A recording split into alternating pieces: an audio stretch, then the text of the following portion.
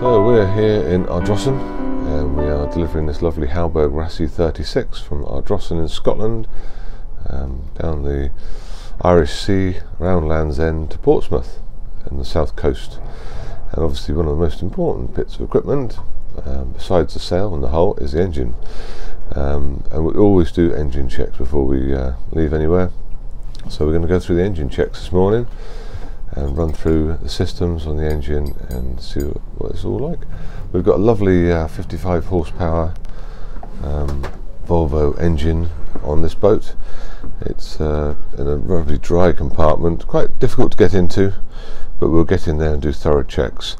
The RYA teach an acronym which is really, really good for remembering the things you need to check, and I always use it, and it's wobble um, the first part starts for water, and there's two parts of uh, two two parts of water: the seawater and the freshwater.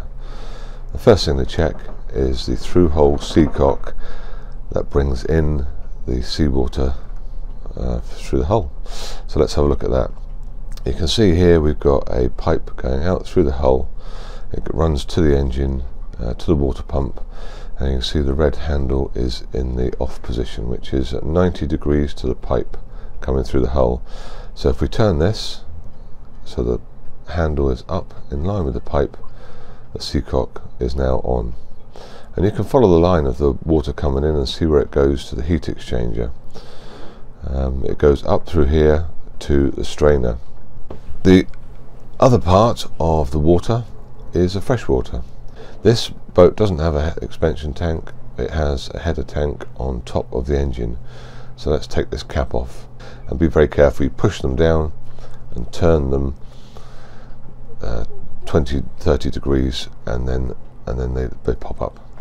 Um, and to check the water level in there, if you can see in, you should be able to see the water. It should be quite near the top, probably an inch down from the the top of the neck of the filler.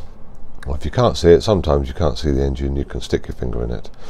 And this one's full, so that's nice, and you can see into it. So that's good. And you can see there's uh, engine coolant in there, so it's got antifreeze in it. You can see the colour of it, sometimes blue or sometimes red. Uh, by the way, you shouldn't mix them. If it's got blue in it, don't put red in it. If it's got red in it, don't put blue in it. Uh, so there you go. That's the water. So we've got seawater and fresh water. Uh, let's move on now to oil. WO oil. So let's check the oil. Find the dipstick. It's always got a brightly coloured top. This one's around the other side of the engine. Here it is. And I always recommend you note where it comes out before you pull it because there's quite often you're reaching around an engine, you'll quite happily find the top of the dipstick, pull the dipstick out, and then when you go to replace it, it's down a dark hole at the bottom of the engine, you can't see it. So have a look where it comes out and take the dipstick out, put it all the way out, and then clean the dipstick off with a bit of kitchen roll or tissue and then put it back in. Make sure it's seated nicely down in the neck of the um, filler indicator the dipstick and push it in and then pull it out. So we've got a top mark here and a bottom mark and it's a few millimeters off the top which is very good. Should be up to the top or just near it. And then place it back. Make sure it's seated down properly. That's the oil um, so the next bit, B, for belts. So let's have a look at belts. The access to these belts in the front of the Hallberg-Rassy, you have to take the companionway steps away and then go in through a panel to get to the front of the belts. And we've got two on here. We've got two alternators and two belts. So the important thing about belts is the condition they're in. Um, have a feel of it you know, are the uh, teeth of it still in good condition or is it worn? And it's important the width of it. Have a look at the side of the belt. Is it shiny and worn and likely to slip or does it still look like it's got some good rubber on it? Um, so have a look at the condition of both belts, feel them with your fingers, and then the next important thing is the tension of them. So are they tight? You shouldn't be able to turn a belt around more than more than 90 degrees. 90 degrees is a good turn on the belt, so get hold of the belt and turn it around 90 degrees and that's a good tight belt. The other thing you can do is you can push the belt in towards the pulleys and see how much flexibility you've got. Um, Uh, we always carry spares. I wouldn't go to sea without them. Uh, they are a thing that do break, especially if a boat's been sitting around for a while and they can get brittle and they do break. Um, let's have a look at the bilges and let's have a general check around the engine when you're looking for things.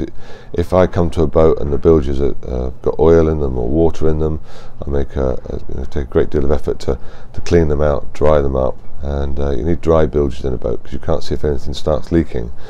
Uh, if you've just got sloppy oil in the bottom of your bilges, you can't see when you've got a leak.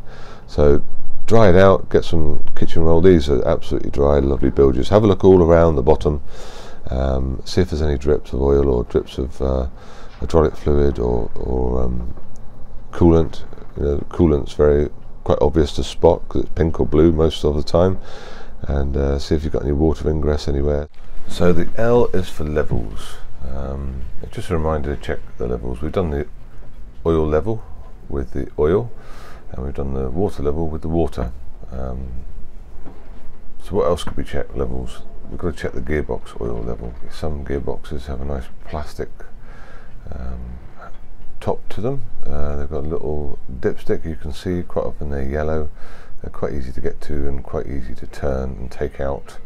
You unscrew them uh, anti-clockwise and take them out have a look at them. They've got uh, indicators on them. Give them a clean. Have a look at the condition of the gearbox oil. Make sure it isn't white and milky and creamy. If it's white, milky and creamy, you've got water ingress into the gearbox, and that can be a very serious problem. Uh, when you reseat the dipstick, don't screw it back down. Um, just put it in and sit it gently on the hole that it came out of, and that will that give you the right level. Should be nice. Uh, should it's uh, not quite like engine oil, it's a little bit more like hydraulic oil, a little bit thinner than engine oil, so it should be in good condition. The oil looks clean, which is good. Uh, take the dipstick out, give it a wipe, it'll have a top and bottom indicator, and it should be up to the top. Uh, if it's not, uh, read the manual, get the correct gear oil, and top it up in the same hole that the dipstick comes out of. So the next part of the wobble and the end of it is E. Uh, e stands for exhaust and when you start the engine up to check the exhaust is flowing water out of it. Uh, it's a really important thing. I do it on every single boat I do. Uh, do all the pre-engine checks, uh, come up onto the into the cockpit, um, go through with the crew how to start the engine, how to stop the engine, which is really important. Every crew member knows how to start and stop the engine, and when we start the engine, everybody will check the exhaust water's coming out. So we know where it is, we know what it sounds like, we know what it looks like, can we see it? And it's something to really keep a, uh, an eye on. If you get no engine water coming out, there's no cooling water going through the boat, and your engine's going to overheat. So it's a regular check. It's something to keep your ear on all the time, keep your eye on. And there's the engine checks. Uh, very important job to do.